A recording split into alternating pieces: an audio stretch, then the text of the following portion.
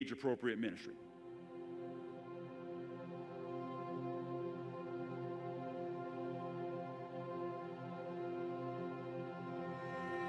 We are wanderers, explorers, travelers, roaming the earth field by field, moment by moment, seeking, searching, longing,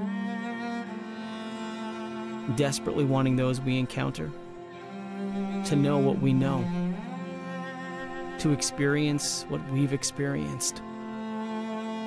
A life change so beautiful, a grace so sufficient, a mercy so unfathomable that we can't possibly keep it to ourselves. This is our mission. This is our purpose to pursue the calling of Jesus to the ends of the earth. Will you answer that call? The call to wander, the call to search, the call to walk, the field.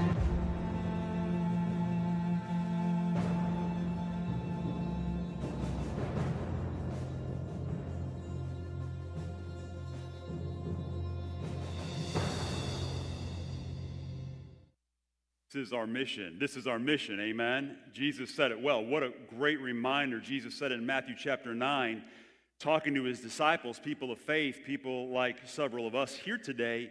And he said, Look, I care about people. I, have come to help people. I've come to forgive people. I've come to save people. And I, I see them as something worth getting my arms around, right? Some, Jesus would say, I see people as a valued commodity. I, I see them like a harvest. Does that make sense? Like people, farmers, they don't plant acres and acres and acres and acres and acres, just like you don't do your work to not see a harvest.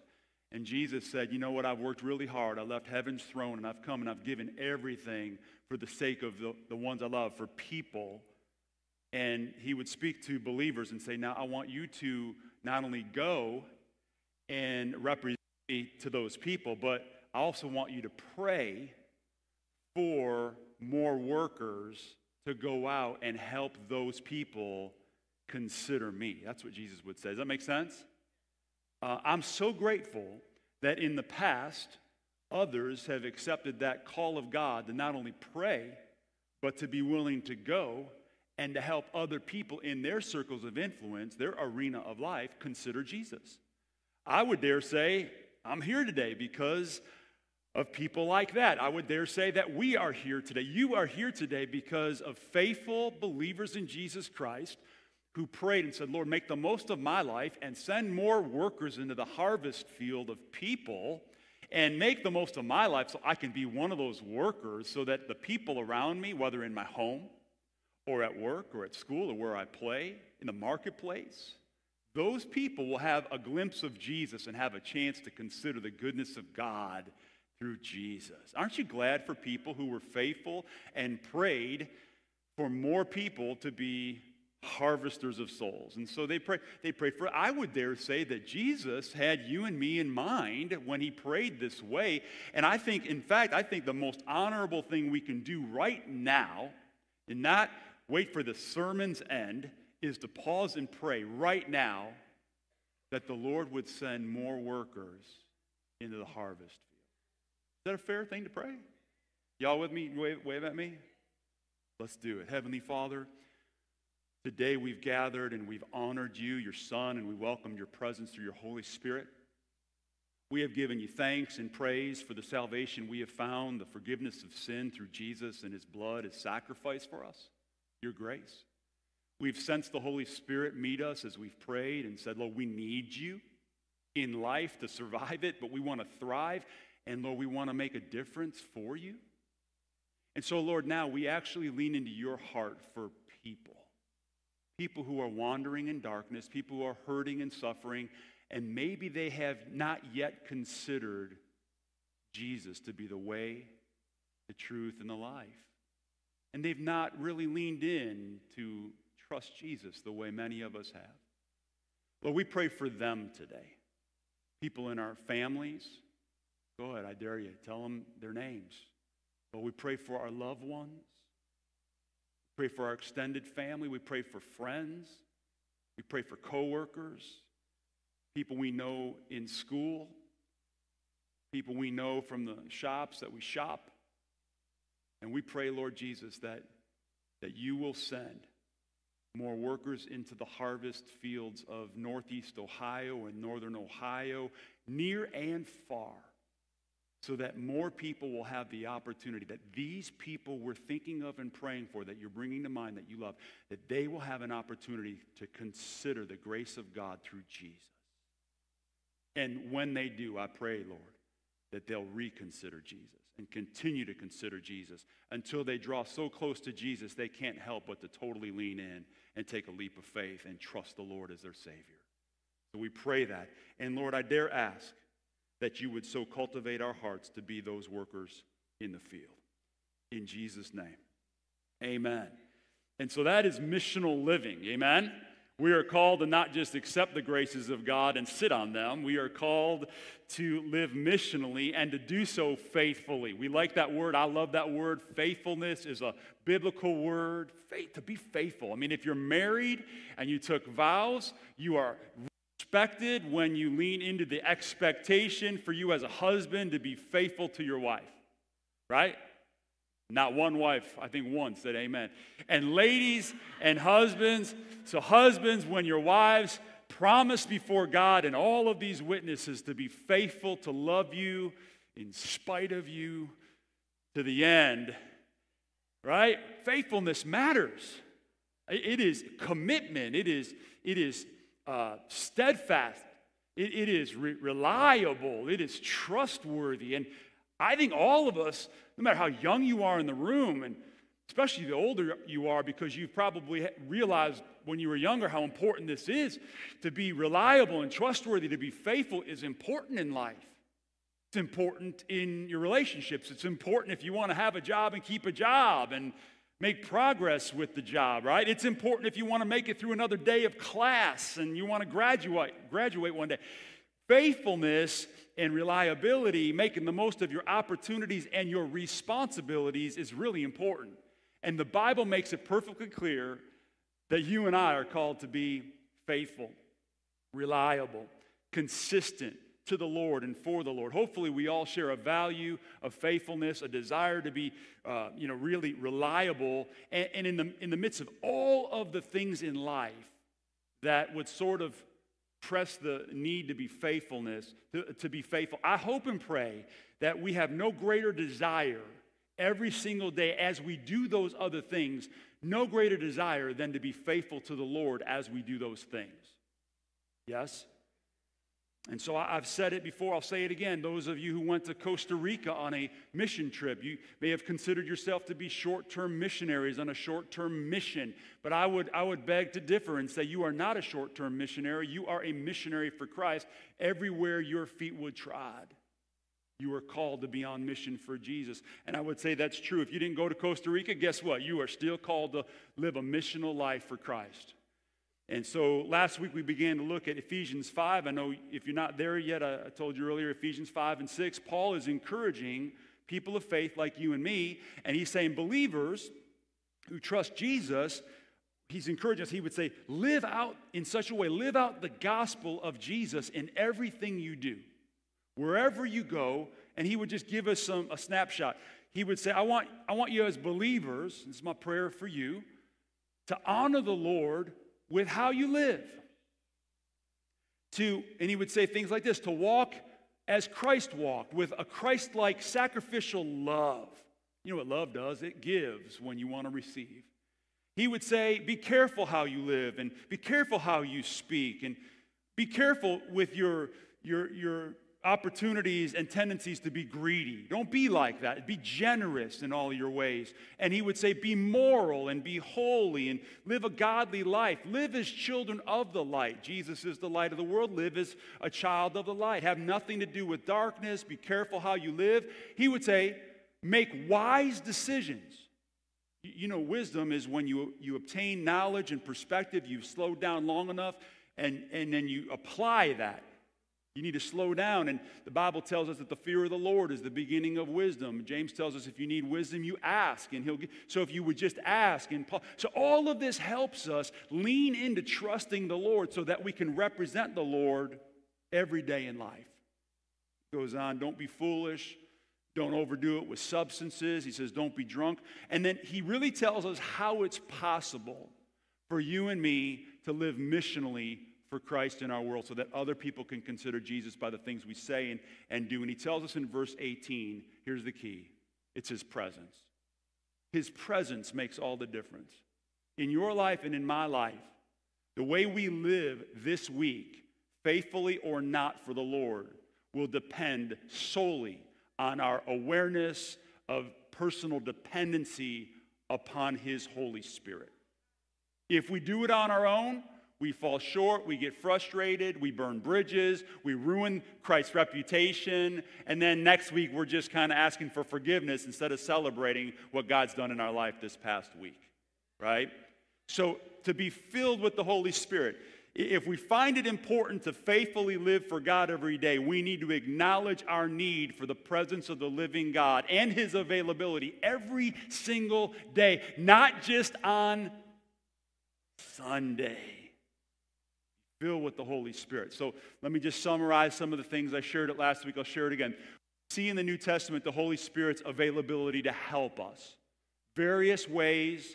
Uh, with our character and our conduct, the Holy Spirit wants to help you and me live like and look more like Jesus, right? Fruit of the Spirit. We spent the summer thinking about that uh, 1 Corinthians 12, Romans chapter 12. The Holy Spirit wants to help us when we, when we lean into relationship as the body of believers, as a church, as a church family. The Holy Spirit equips our natural abilities with supernatural abilities. Those are called spiritual gifts, so that we can encourage one another, so that we can then, therefore, exalt Jesus in the way we live. You see, the Holy Spirit helps us with that. You have, you have a choice. You have to lean into it. And then, of course, what we're talking about, all is encompassed in Acts chapter 1 8. The Holy Spirit is available to embolden us and empower us to represent Jesus well. Jesus said it this way in Acts chapter 1. You, he's talking to believers, you'll receive power when the Holy Spirit comes on you, and you'll be my witnesses. You see that key word? You know what a witness is in the court of law. It's someone that gives a, a test. I put my hand in the Bible, this is my truth, right? I wouldn't lie about it. I wouldn't risk lying about it. This is the honest truth. This is what I've experienced. This is what I know. A witness. And so we, we kind of raise our hand to the Lord and say, Lord, help me be a witness for you. Holy Spirit, fill me so that I can be a witness in the way I live and the things I sometimes will say or not say, so that I make a statement about who you are before the people I share life with. And so the Holy Spirit's available to help us do that. And again, why is this so important? Because Jesus calls every single believer to live life on mission. You, you catch that? Don't miss this. Because if it's just like, well, I'm learning to come to church more. I get it. That's good. That should help you consider Jesus more and more. And the more exposed you are to Jesus, the more you should love him and trust him. And the more you love him and trust him, the more it shows up in the choices you make and the way others will see him in your life. Yes?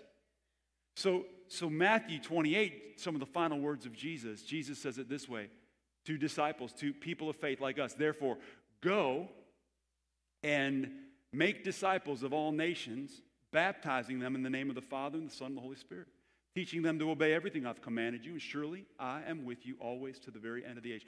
So just let's keep that verse up there for one sec. So let's just take a look at it. Jesus says and said and would say to us, to people of faith, go near and go far. I think that encompasses, I would say this way, wherever you go. Is that fair?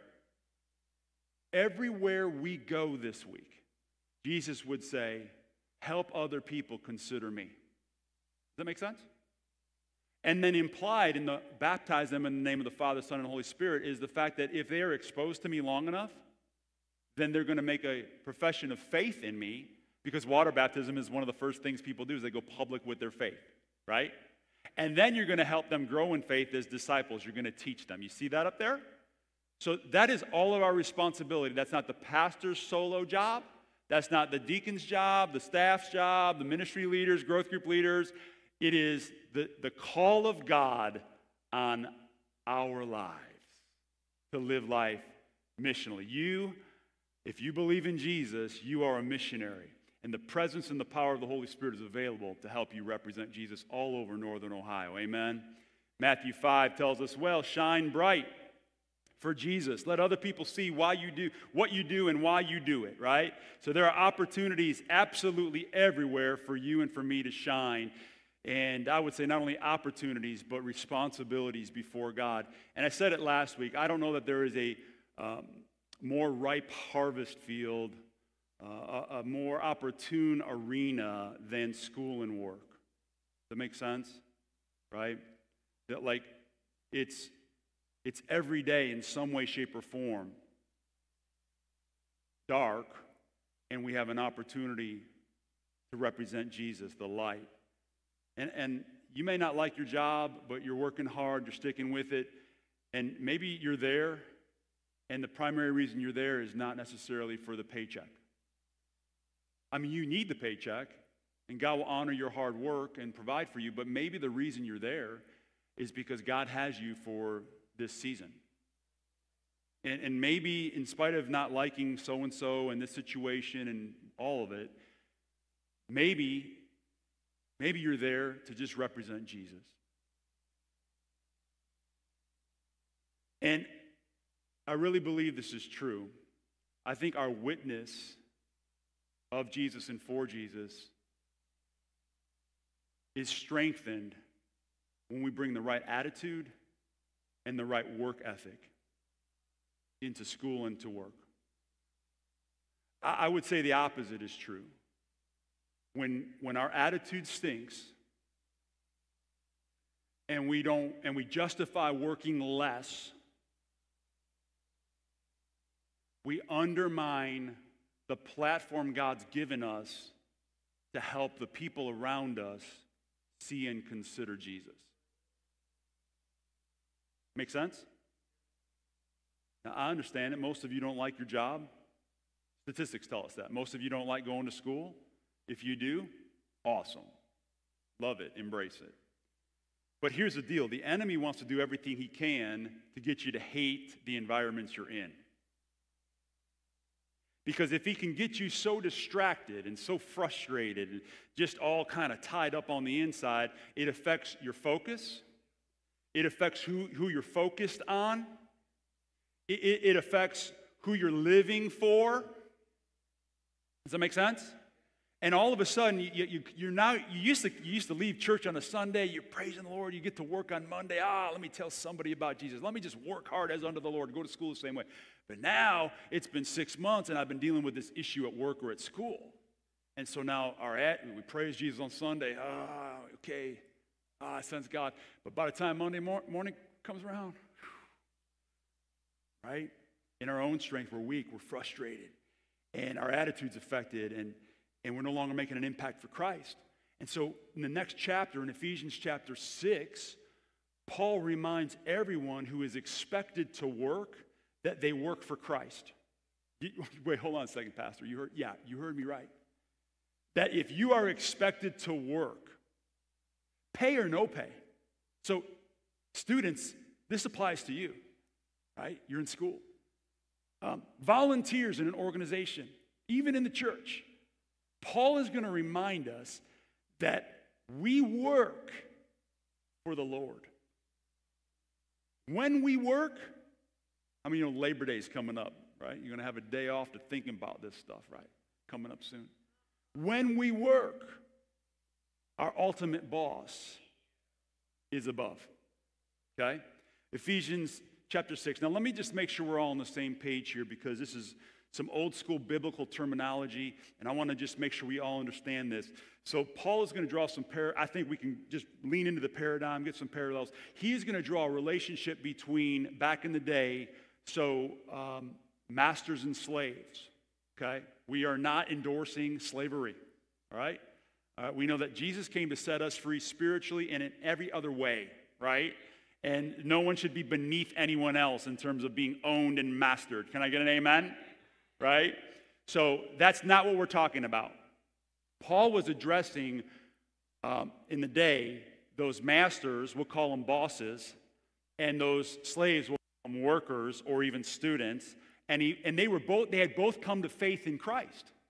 And Paul was trying to help them figure out how to manage relationships in, within the context of, I have work for you to do, and I have work to do for you.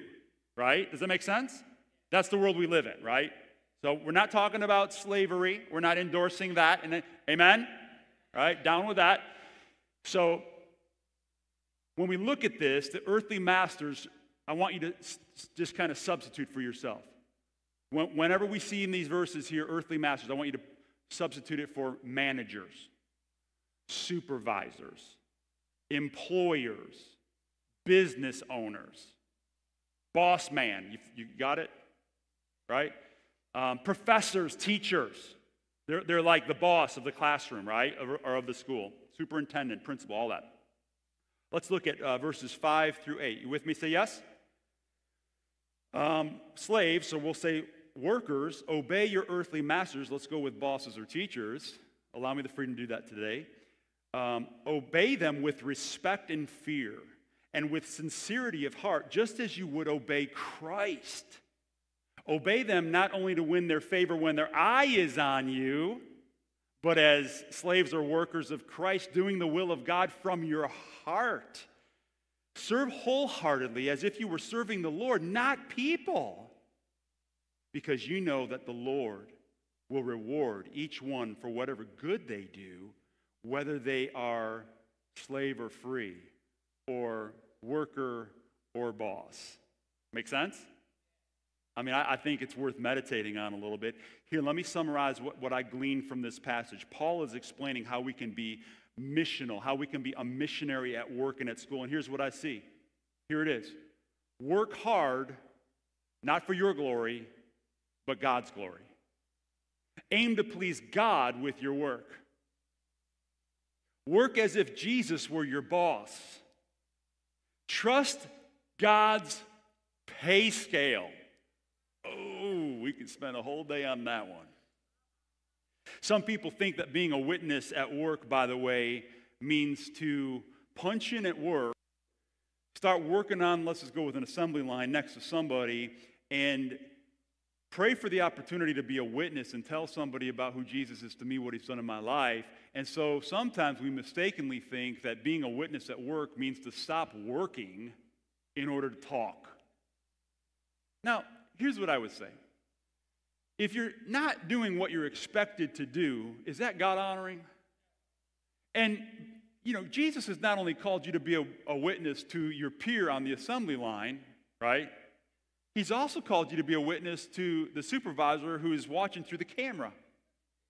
Right? So our work ethic matters. Now, am I, am I saying never have a con- I'm not saying never have a conversation. I'm not saying that. I'm just saying that you might, you know, sense the Holy Spirit stirring something up and say, hey, can we talk more about this at lunch? Can we talk more after work?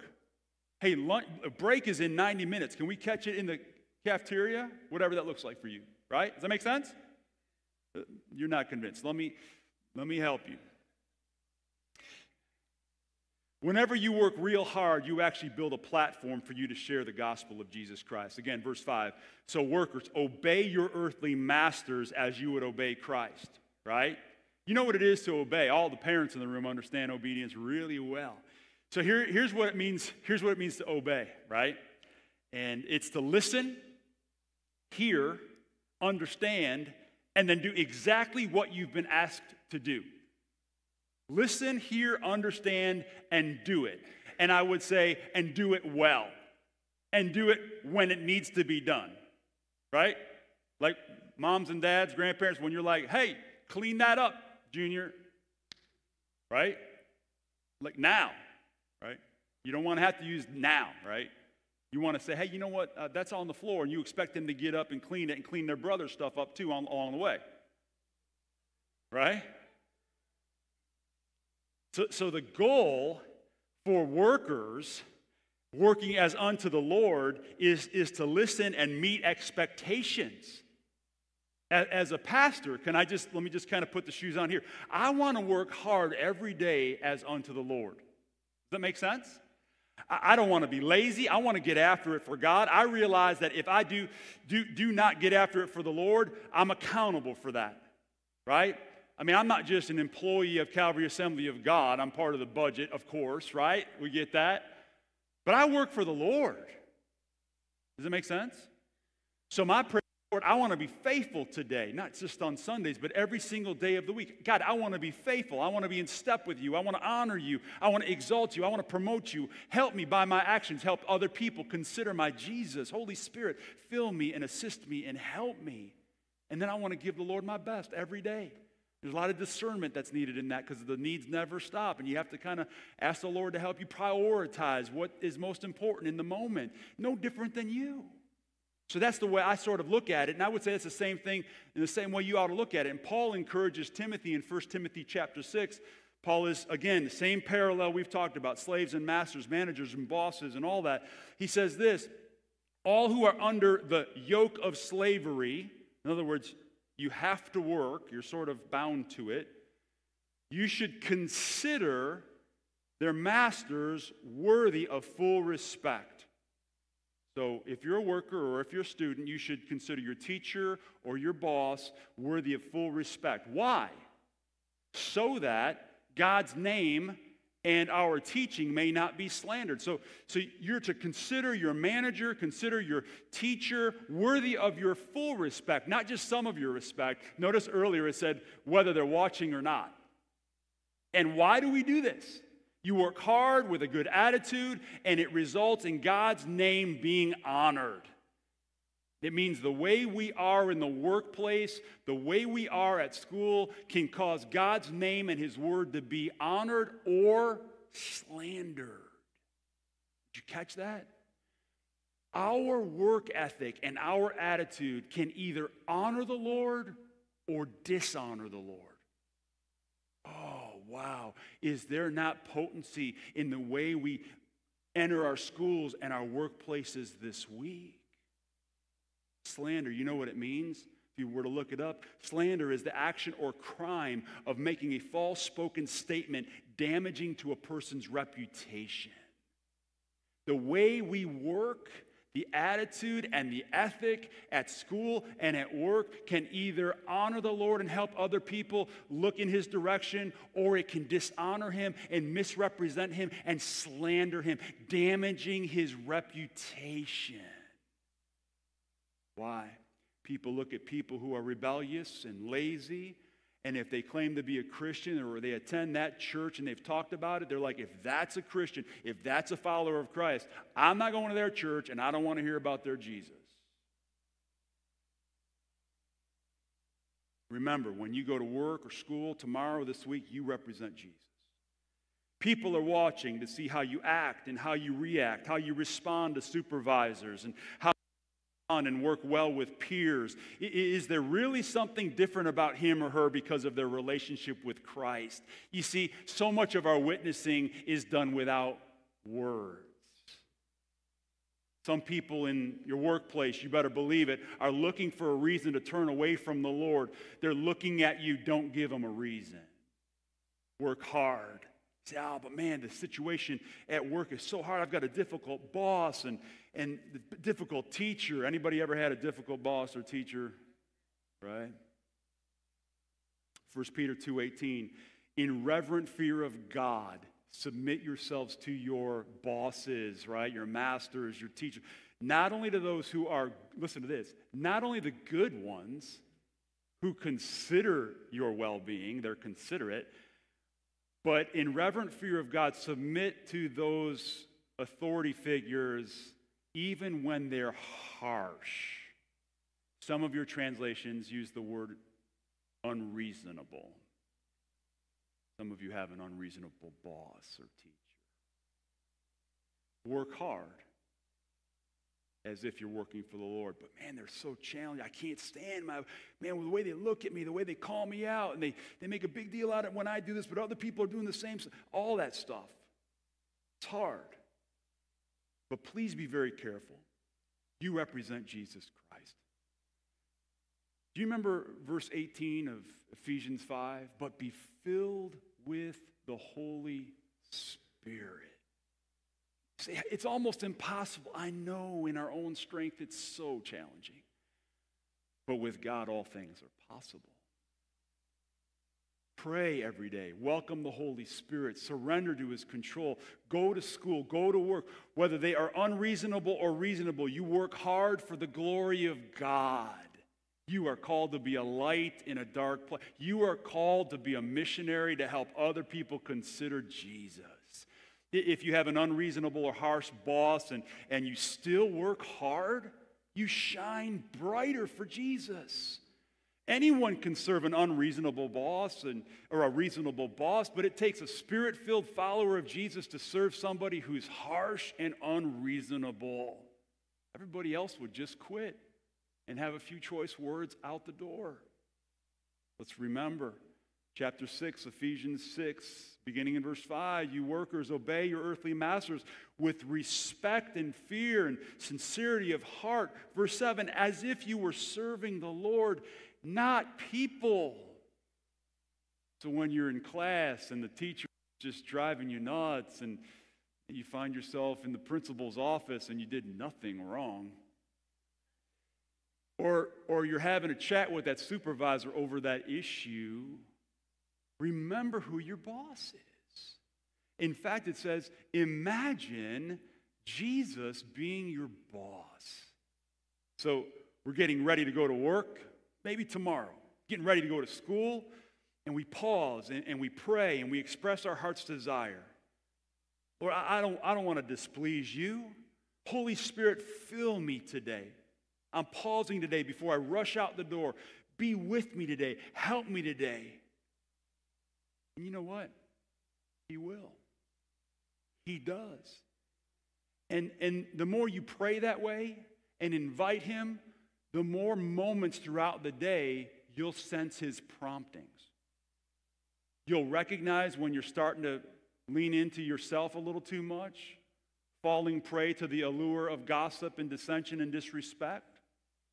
You, will feel a prompting of the Holy Spirit. Hey, watch your attitude. You haven't spoken a word, but I see your heart. And you'll, you'll remember the prayer you prayed that morning and the Holy Spirit. That's right, lean back in. The Holy Spirit, His presence will be with you and make all the difference.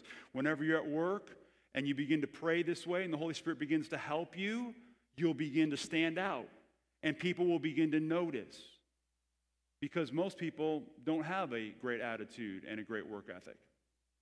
But when you do, they'll wonder why. And then when they begin to ask the question, you know, I notice a difference in you, and, your attitude just, what's the deal? And then you can respond honestly, well, it's not like the job's easy, but I've been praying and I've been asking God for help. You know you just, you know what you were right there? a missionary helping somebody consider Jesus. It's okay to say, you know what, I just realized that my ultimate boss is not so and so, but it's God. And I want to work to please my Maker and my Savior. Jesus has done so much for me. Everything I do, I do for Him.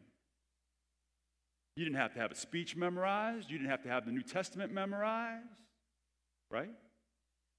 You just worked hard and when people noticed, you gave them a reason for who you are, Jesus. You let people know, I have a, a, a, a sincere desire to honor God in everything I am, everything I do. So, you know, like last week, I asked the question, well, how about you, Calvary Assembly of God? I mean, what's your desire? How about you as an individual? I mean, what, what, is your, what is your missional calling? Who do you work for? This week, who will you work for? This week, whose glory will be at stake?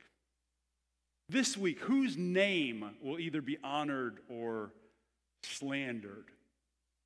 I'm just inviting you to invite the Holy Spirit to fill you, to assist you, to help you, to strengthen you, to faithfully live and work for the Lord with every responsibility and opportunity that life brings your way, at work and at school Are you, are you with me?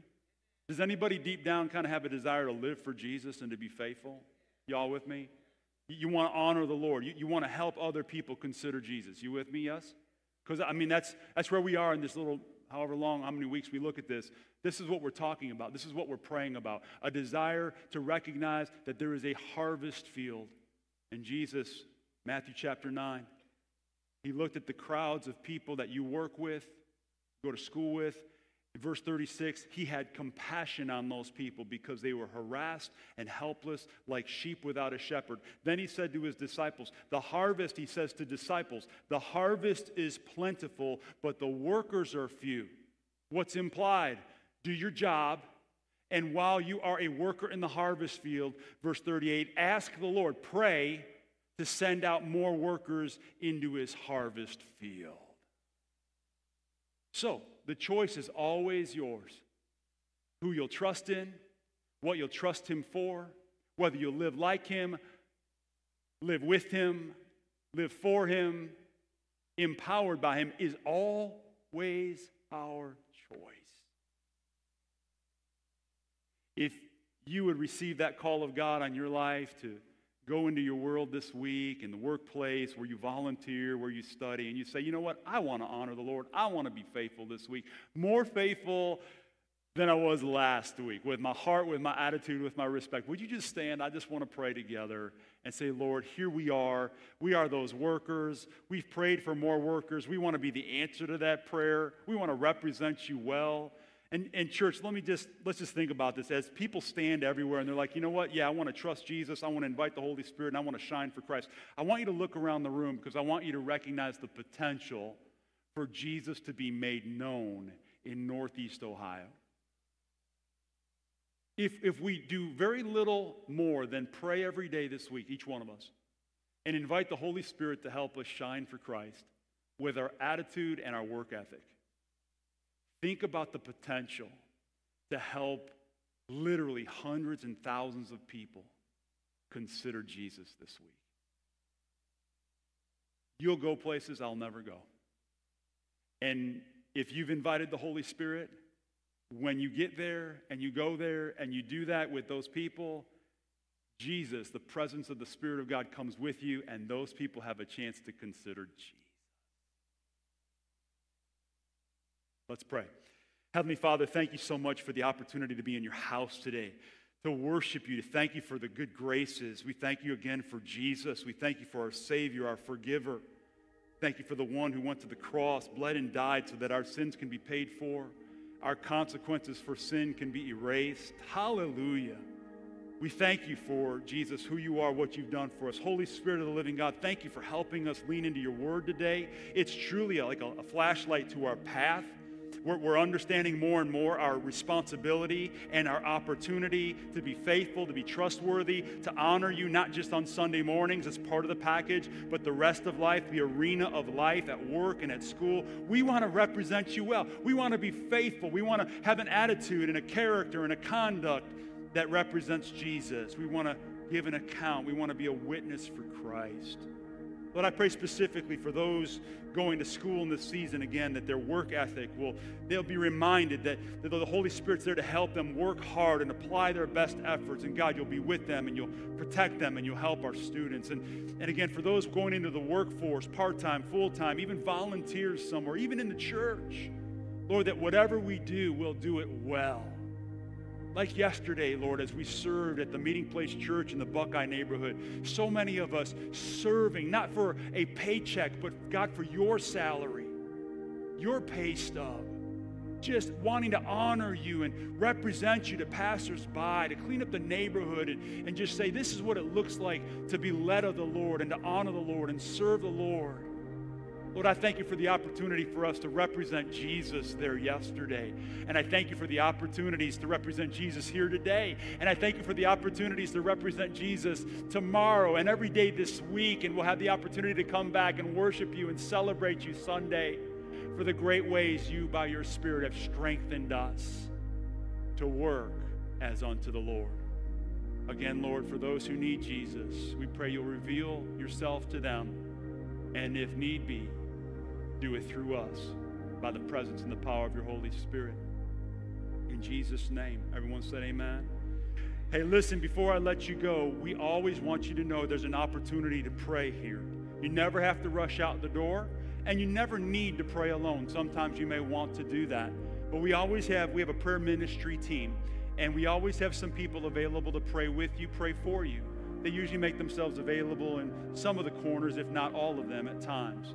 And you may go up to them and say, you know what? I need prayer because that work is hard. Maybe it's related to the message today. At, at, school, you're like, man, my attitude stinks because, man, this teacher, whatever it is, the people around me, they'll pray with you. They'll take, just take a moment, they'll pray with you. Call on the presence of the Lord. Um, you may have other needs. Maybe you need a healing in your body. We believe Jesus not only forgives, he heals. He's still available to heal today. He does supernatural things. You should have heard Ashland's testimony in Costa Rica when I spoke to the church and said, Jesus is the same God. He still heals. And Ashland got up and said, I had a cyst, a tumor in my brain, and the doctors couldn't understand why after prayer it's gone. Jesus still heals. I don't know why he does what he does when he does, but I know we can still ask and believe. So if you need prayer for any of that, and don't miss this one, we just prayed for people who need Jesus. And maybe you're here today and you're like, you know what? I'm here and I am considering Jesus. I have been considering Jesus. I'm reconsidering Jesus. And I need to personalize my faith today. Don't leave the place wondering what to do with that. You don't have to wonder. It's so simple and clear. It's almost so childlike the way the Bible describes it. And I would say to you, if you are processing your own personal faith, do yourself a huge favor. Take five minutes make your way to one of these folks. I see Donna in the back. I see Pastor Chris, I think, in the back, uh, in the front here. Make your way to, in a minute, we're going to dismiss, not embarrassing anybody. But maybe you go up to them and say, you know what? I want to solidify my faith in Jesus today. I, am declaring, I, I just, will you pray with me? I, I need to get things right with the Lord. I want to live for the Lord the way we talked about today. And they'll pray with you. They'll even give you some biblical resources and encourage you. Y'all with me? Say yes? Some of you need to find a place to pray. Some of you may just want to sit and stay. It's the most peaceful place you'll be in all week long. You know what I mean? God's presence in God's house and God's people does that, God's word. So you're welcome to stay. I pray God blesses you and empowers you to live for Jesus every single day, every waking hour, with every breath you have this week. In Jesus' name, amen.